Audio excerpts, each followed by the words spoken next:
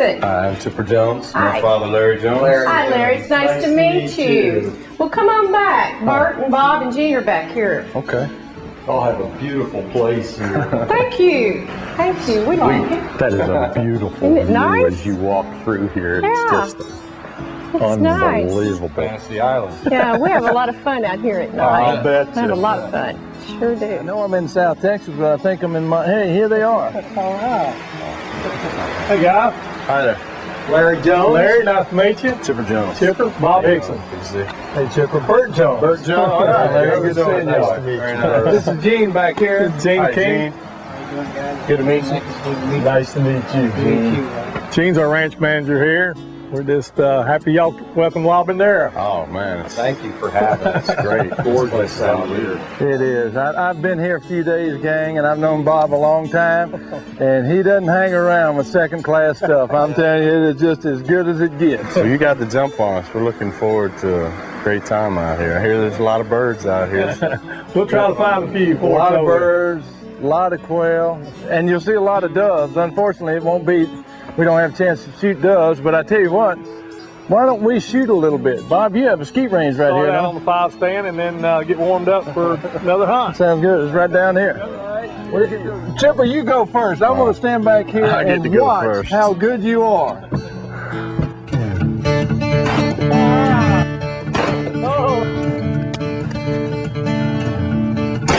Hey, wait till it gets right on top of you. We're gonna see if Dad can keep up with the baby. Oh. oh, Taught him everything he knows.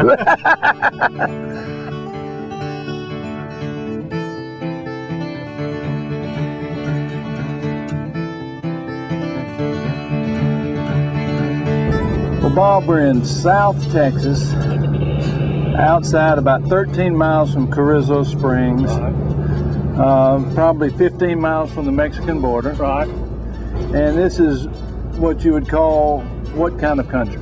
Well, this is what we call South Texas brush country, and uh, this particular piece we're in is what we would say is more more of a sandy, rolling. Really, people don't associate South Texas with this kind of situation. It looks more like Montana, or uh, it's just a different look than what most people think South Texas has. But we're in the, what they call the Golden Triangle, and uh, big deer country. This is Dimmit County, and the second best uh, Boone and Crockett uh, county in the U.S. and a lot of a lot of big deer, a lot of quail, and a lot of doves down here, Bert. You know, that is true. You, you relate Dimmit County in this area to the finest South Texas deer hunting there is, and it is.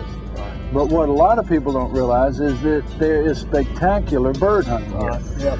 Early in the year, you have good white-winged dove hunting, depending on the hatch in Mexico, uh, and then you have fabulous mourning dove Morning hunting almost throughout the year. You know, you get the first uh, resident birds that I would call them that, that raise right here, and then you get the full migration pattern of you know all the states north of here.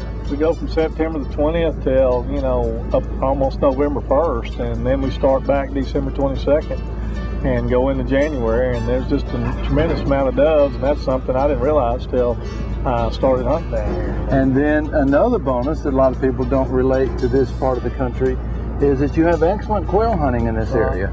You have uh, primarily bobwhite in, in the sand hills, and if you get out in the brush and if you want to chase a blue quail, you have a chance there too. Bert, this is what we've done here a little different than some of the other ranches. We've taken a levee disc, Arkansas, created in a natural depression. We've taken water out of our wells, dropped it in at the highest point up there, built a series of weirs or levees, just like a little small rice field up and down this depression. So since we don't have naturally running water all the time because of the shortage of rainfall, we wound up creating wildlife habitat here with the water we have by backing it up, making it sit in one spot longer, and you can just see the difference that we've Look at the contrast outside your levee Yeah, to inside the levee. Right. It, a, it is amazing that the vegetation it's difference. A, it's a it's a difference what? between dryland farm, dryland farming and irrigated farming. You know, it's just in a grass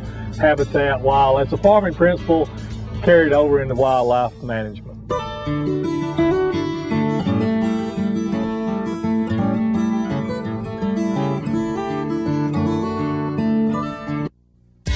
Walmart Great Outdoors Brought to you by Walmart Sporting Goods. Everything you need at everyday low prices.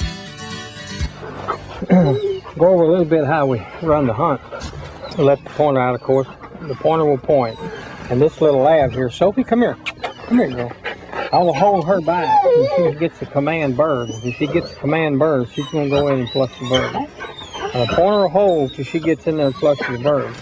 I do allow her to actually flush the birds and some chasing going on because if you cripple a bird, that bird falls 30, 40 yards, she has some way of marking it and she'll be on that bird.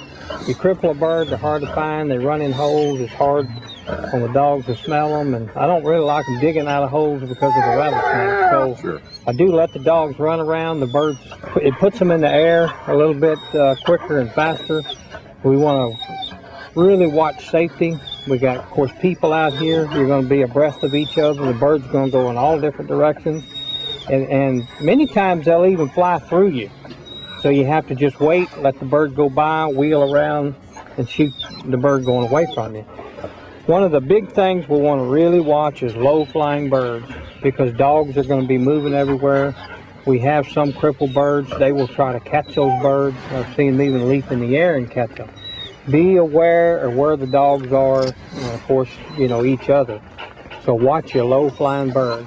Most of the time, these birds this time of the morning may be in the edge of these little motts. This is called mott country. It's a Carrizo Sands outcropping. And uh, if we'll not surround the mott or, even, or surround the cubby, but we'll do like a half moon. Two will slide over to the right of the dog, two slide over, or you're going to hunt two and two. Yeah, I think we'll hunt a brace of dogs and, and two people, and we'll Two just people. we'll just One- move in and out. Okay. We'll we'll alternate moving in until we get a good feel, and I get a you know, gun One- safety is always one of the key things, especially around quail hunting, because it's it's a game that's different than all other shooting sports in that they're totally unpredictable. They're going to flush and they're going to go to where they think the safest place is, and so consequently, until we kind of get a feel of each other. We, we'll go up there two at a time, and, and typically the best way to handle that is when you have two, the guy on the left shoots the birds on the left, the guy on the right shoots the birds on the right. So just kind of pick out the left side of the covey, the right side of the covey,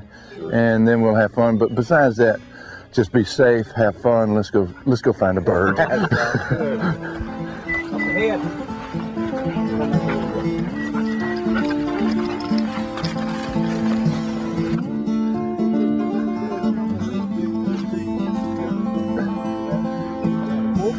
All right, now move forward. Might have been on the dove. Might have been on the dove, but I think you're About maybe time right up. here now. Go, go, go, go. Good shot. Yes. Good shot. Nice shot. Bird out. Bird here, bird there, cripple bird. Yep, yep. My bird, Sophie. My bird. Right there. There he is. You see a strike? Careful now. Right out there, Sophie. Move on up. Bird. Careful now. Careful now. Probably a single bird. Single bird. Sophie. Careful now. Bird, Careful now. Careful now. Bird, Sophie. Got one. There they are. Cripple bird. What was that? I got him down. He went down right here. Careful. I missed the bird twice.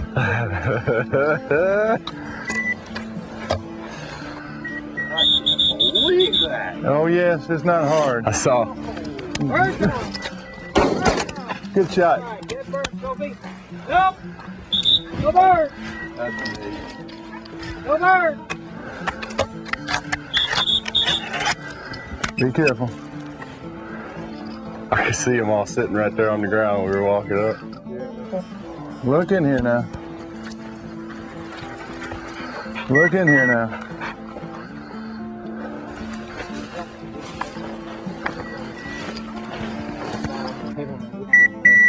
Watching hunters on this side and dogs on the other. Go. Good shot, bird. Beautiful. Dead bird in there, Beautiful so. bird. No bird. Hup. Tell me ready. Maybe Okay, maybe lay back. bird. Sophie will go in there. Sophie, bird's in there. Bird's in there, Sophie. There you go. Lay back. That one's hurting. you okay? Yeah. What happened? That dog ran right into my knee. Good shot. Shot. Yep. Did you see that? Uh-uh, Yeah, I did. yeah. Bird, Sophie. Bird out. Ever ready. Ever ready, bird. How do you My miss bird. that bird?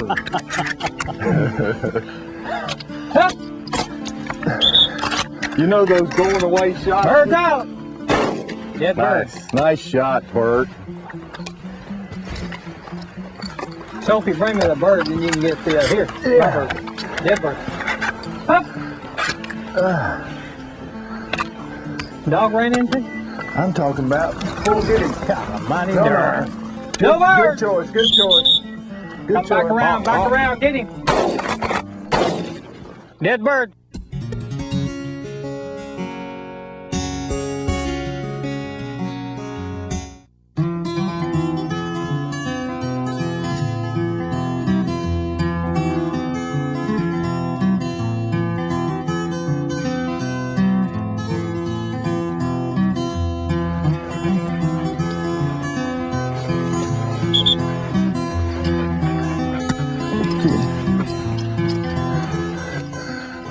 I think she found him over there, Gene. There she is. Careful. Careful. Move up a little bit, Larry. That's Oh, a baby cripple, bird, cripple, baby baby. Let bird. him go. No bird. No bird. No bird. No bird. Nope. One of those young birds I was telling you about earlier that just won't be ready till about February because of our late rains and we had late hatches. You know, that is a great sign, though, because, I mean, we're in December. But look, there's the rest of them. Nope. Small birds, Nope, birds. Nope, nope, nope, nope. No bird. I mean, you, here you are in December, and you have Those are Six week- half- Yeah, six eight weeks, seven week-old weeks, birds. like that. That is, I'm not used to that. That's great. That a way to go. Good discretion, man. Very good. We got a point over here. It may be the same bird. It may not be. Go ahead, Larry. Move on. Move on up. Get where you can. Careful. I tell you, that's awful tight country in there.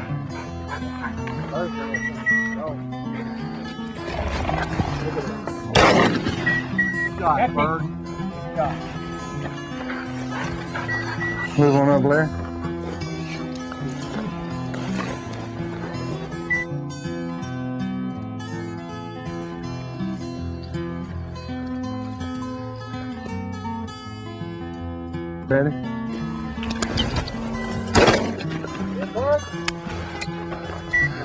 I'm on the left right here.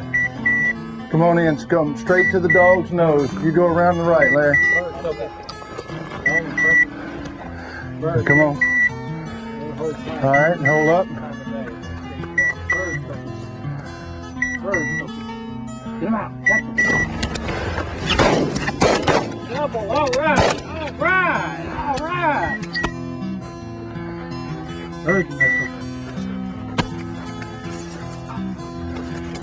Oh, that's Nice. nice shot, Bert. You want to give the dogs a little water? Let's, let's uh, water the dogs, change dogs, and we'll head out in another All right, location. kill Kill up. up. Kill up, girl. No, She knows what the program is. Come on, kill up. Atta girl. All right. Atta girl. Well, my gun's unloaded, gang. I'm unloaded.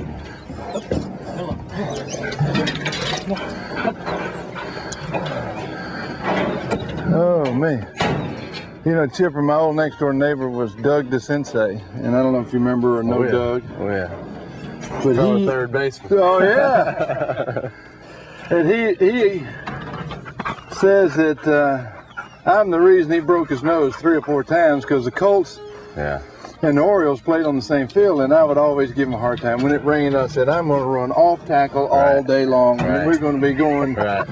Gotta go right. Stay gotta- away from the left Hey, side. Doug, oh, please don't do it. Look at this nose. I mean, you've seen it. They call me Hulk already. It's Man's- bad enough. the man has a point because you know, I mean, nowadays most of the the, the dual stadiums are, are mostly astroturf, but you still have Pro Player Stadium down in Miami where the Dolphins play, San Diego where the Chargers play, and I tell you what, I mean, you're on guard, get- aren't you? Infield can get kind of rough, especially down there at the hot corner. It's uh, you know, it's a reaction position anyway. But uh, I've taken many of them off the high chest and, and throat and whatnot, so it's it's not fun.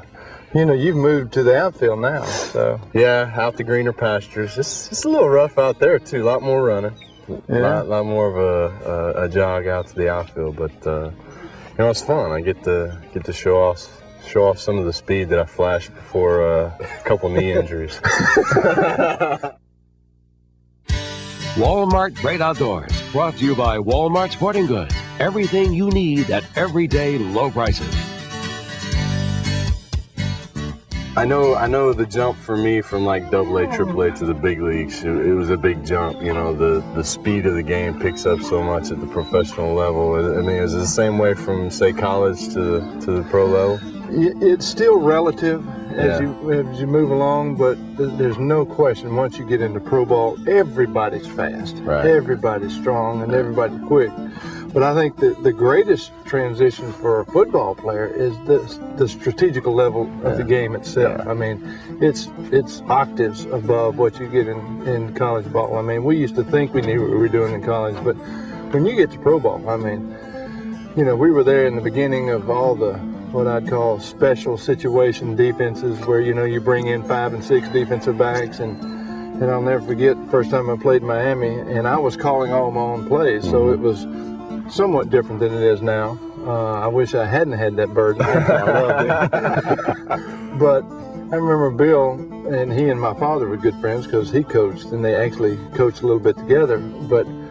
I mean, he got it, and it was just like a roulette wheel. I mean, he was in one coverage and another coverage and another coverage. And when we came and broke down films, we determined that we saw 17 different fronts and coverages before we saw the same one twice. What do you think, It's Keith? very interesting, but uh, we're uh, it's getting warmer, and we need and All birds right, well, let's are put a waiting, dog on the ground. Let's Yeah, put let's Fred on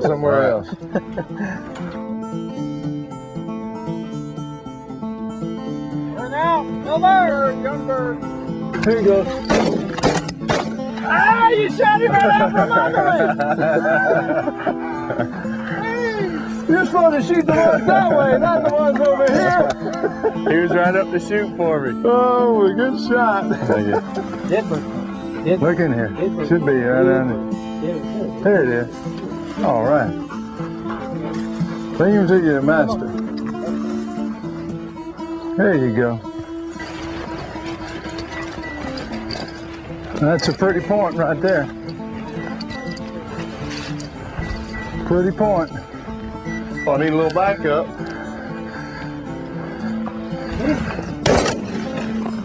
Got you.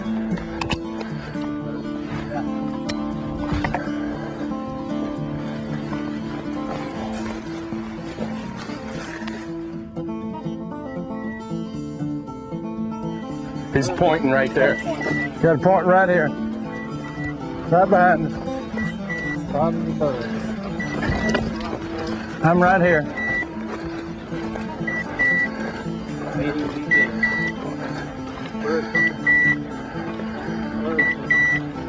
Look in there. Look in there.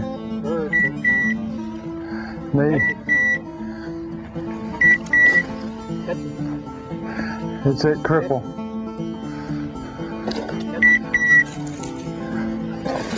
He's right there, about four feet in front of us.